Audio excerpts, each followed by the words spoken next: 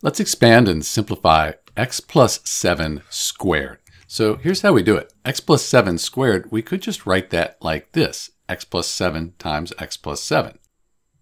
So that's the same as x plus 7 squared.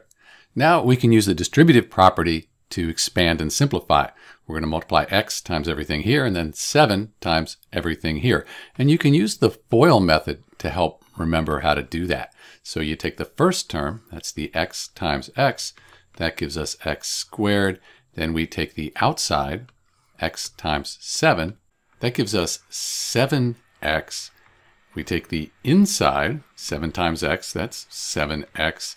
And then we take the last term, 7 times 7, and that is 49. So now we can add this together to simplify it some. We have x squared and then 7x plus 7x, that's 14x. And then we put the 49 there on the end, and we have an expanded and simplified x plus 7 squared. If you factored this or use the quadratic, you would get x plus 7 times x plus 7 or x plus 7 squared. This is Dr. B, expanding and simplifying x plus 7 squared. Thanks for watching.